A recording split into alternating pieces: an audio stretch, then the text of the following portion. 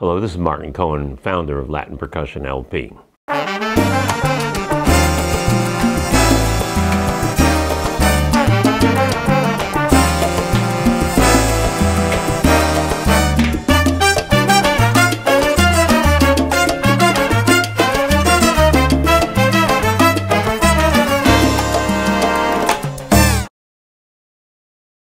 We're at the year 1979. Business with Europe was just with this Amsterdam uh, distributor, and it wasn't really big. Maybe a little customer in Basel, Switzerland.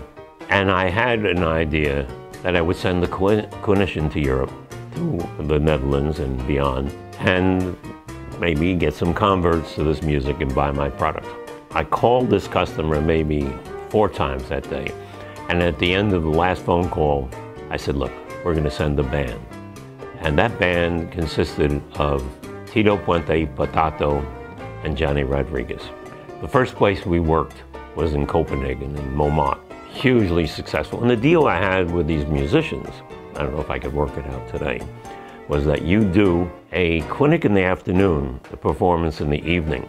By the time they hit the Tropical Institute in Amsterdam, which was filled with Suriname people, they became blown away by this music. And almost instantly, it was a success in the Netherlands and in France, where there was a large population of people from Martinique. And of all the things I did, which was going against popular tradition, there's not that I know of any musical instrument company that ever supported a band. I was able to grow through this crazy effort, a, an international business that consisted of three tours of Europe and one of Japan. Now, during this tour, the biggest problem I had was Patato. He would see the weakness in me and he would start really being difficult. And I remember in the south of France, as we were leaving someplace, I happened to sit on the airplane next to Dizzy Gillespie, and I was telling Dizzy about how he's driving me crazy.